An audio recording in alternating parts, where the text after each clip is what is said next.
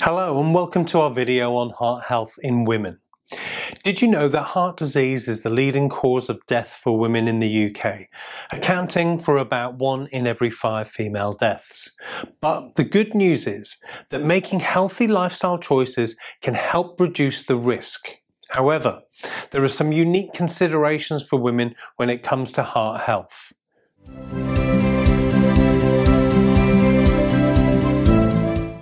Hi, I'm Christian from Cardiac Rehab Online, and today we're looking at heart health in women.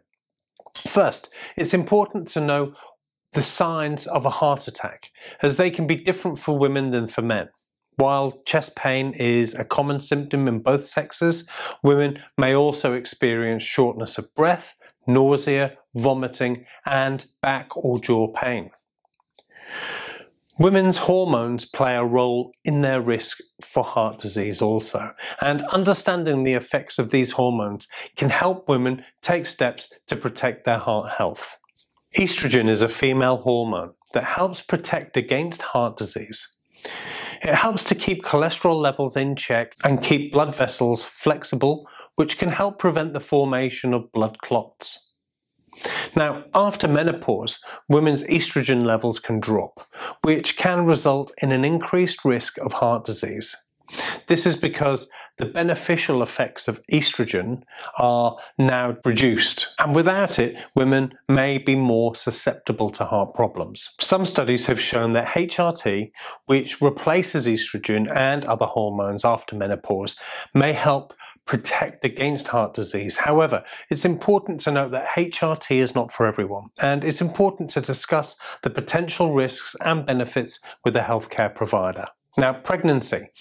This can increase a woman's risk of heart disease, especially if she has pre-existing risk factors such as high blood pressure or diabetes. It's important for pregnant women to work with their healthcare team to manage these risk factors and to be aware of any heart related symptoms that may arise.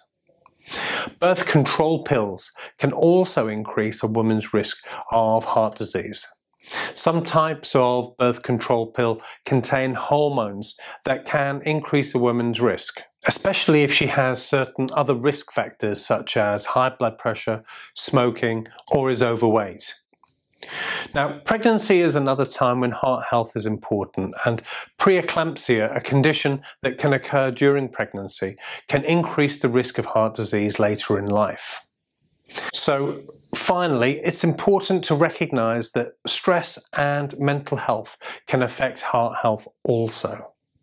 And chronic stress and conditions such as depression and anxiety have also been linked to an increased risk of heart disease. So by understanding these unique considerations, women can be better prepared to protect their heart health and reduce the risk of heart disease.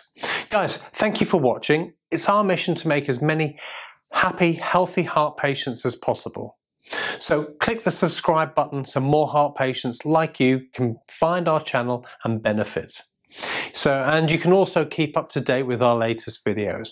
But before you go, let me know in the comments section below what your biggest challenge is being a heart patient. Guys, I look forward to seeing you next time.